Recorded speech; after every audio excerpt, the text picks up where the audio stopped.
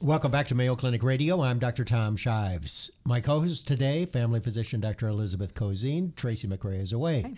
Dr. Cozine, nice to have you with us. Thanks for having me with you. So, we're going to talk about ovarian cancer, and we have previously talked about it uh, on this program pre- before. Um, and we've talked about what a uh, difficult disease it is to treat and the fact that it is fortunately relatively uncommon. Only about 22,000 women are diagnosed with ovarian cancer every year. But the prognosis is suboptimal, not as good as we'd like it to be. And in fact, less than 50% of women live for five years after they're diagnosed. How do doctors decide the best treatment? And what are some of the factors that influence the outcome in patients with ovarian cancer? Joining us in studio today is Mayo Clinic gynecologic oncologist surgeon, Dr. Amanika Kumar. Welcome, Dr. Kumar. Thank you so much for having me. Good to have you back. Yeah. Gynecologic surgery, does that mean that you only operate on women? Well, I only operate on people with female genitalia, oh, I should say. That would be so, women, wouldn't it? Uh, yeah. Well, yes and no, huh? Yes and no, right? There mm-hmm. are transgender patients who mm-hmm. define themselves as male and might have surgery for gynecologic organs. Do you like what you do? I love what I do. I mean, it's a challenging job, um, and but there are few jobs in the world that you get to go in every day and you know that the time you spent away from your home, away from your family was spent in a worthwhile way and I leave every day being feeling very privileged to do what I do and doing it at the Mayo Clinic. So, uh, ovarian cancer. We know that uh, many women present uh, with late stage disease. There, it wasn't diagnosed early on when it might have been more curable. And why is that?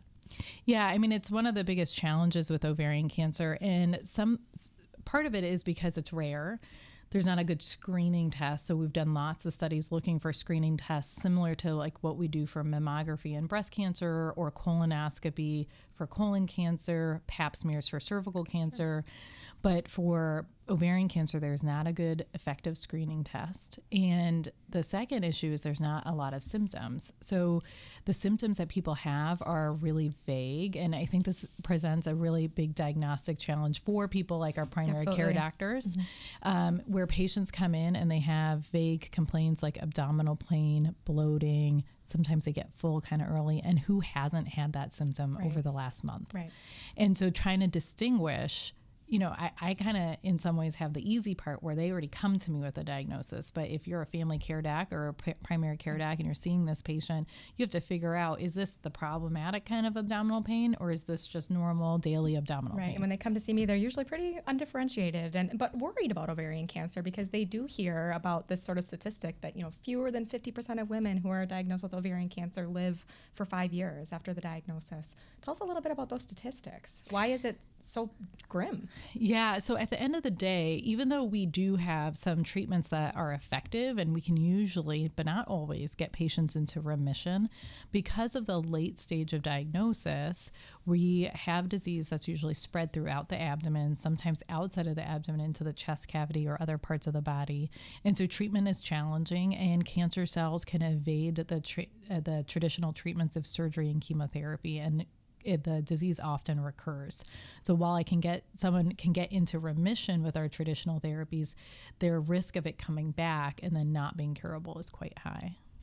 Dr. Cozine, has any a woman, a female, ever come into your office and and you said to yourself, "I bet she's got ovarian cancer"? And if so, what was it about the the history or maybe your examination that made you suspect that? I've had it on my differential before, and actually, I have yet to diagnose ovarian cancer. Um, I've That's thought about recurrence, exactly. Yeah. Although the the woman who is postmenopausal, who is perhaps you know late 50s early 60s who has new bloating or new early satiety that's being full shortly after eating and really hadn't had this symptom before. So that kind of raises my feelers a little bit. And the main thing that i want to do is not ignore those types of symptoms and say oh we should look into this. And so i'll usually order for example pelvic ultrasound. Yeah and that's really important. And like you said i think it's becoming more common in the public discourse mm-hmm. to know about these symptoms but I, I think there's a lot of people who didn't even know there were symptoms of ovarian cancer. A lot of patients come to me and say, Well, if I have so much cancer, why don't I have pain?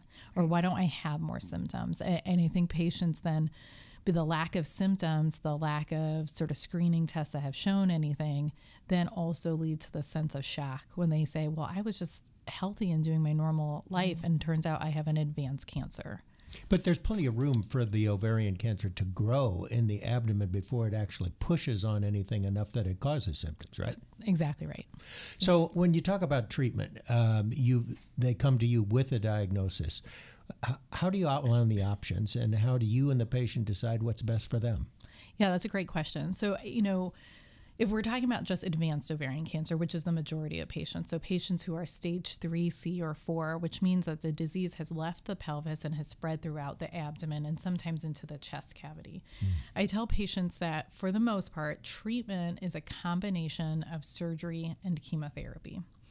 And there are some nuances on how we decide do we do surgery first? We call that primary cytoreductive surgery, meaning surgery that goes in and tries to take out as much of the tumor as possible. And then we follow that with chemotherapy. So that's option one. A second option is to start with chemotherapy, let the tumor shrink, do surgery, and then do some more chemotherapy after. Of course, there's always the option where there might be a patient who says, I, I don't want to treat this. Mm-hmm. You know, I have an advanced cancer, I've lived my life. And, and, it's a pretty rare case, but it's important that patients know, you know, when you get a diagnosis like this and you feel really robbed of your control, that really you are still the person who gets to make decisions about your health and your body. And there are some patients who will choose not to do any treatment. So, what are some of the factors that are within a patient's control? For example, what they eat or how active they are that might actually influence the treatment or how they respond to treatments?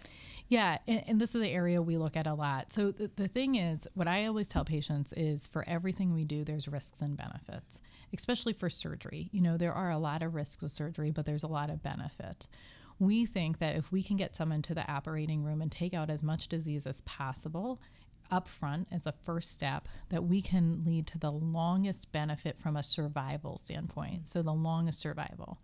But there's a cost to that surgery. This is highly complicated surgery.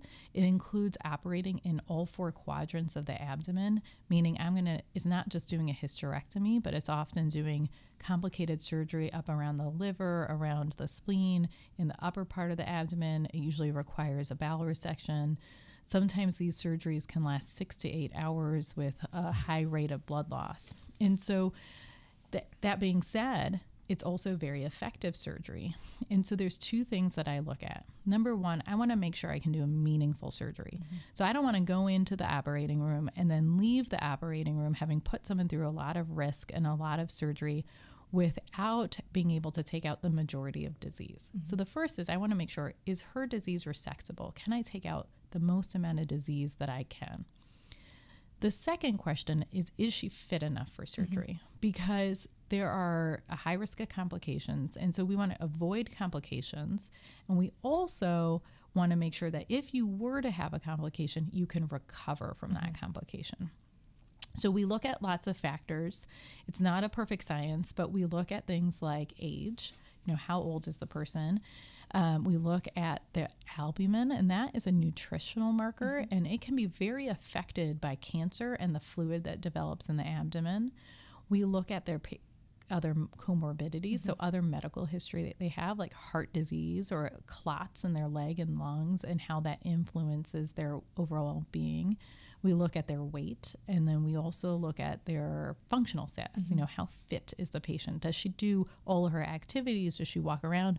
Or has the disease caused a lot of debilitation? Is this someone who really can't even get out of bed and mm-hmm. can't really function? If they can't function it's going to be really hard to get through a big surgery a lot of factors to consider. Now, I know you have a particular interest in sarcopenia and the effect it has on a patient's prognosis. Tell us what sarcopenia is. Yeah, so this is a new area. So, sarcopenia is a loss of skeletal muscle mass along with a loss of physical function. And so it represents something that is age related and it's cancer related, but it's not a perfect correlation.